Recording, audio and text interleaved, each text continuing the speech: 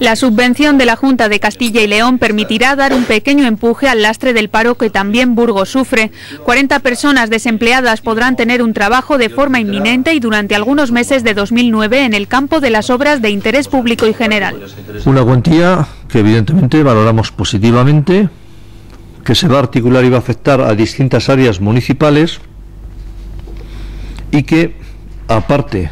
de eh,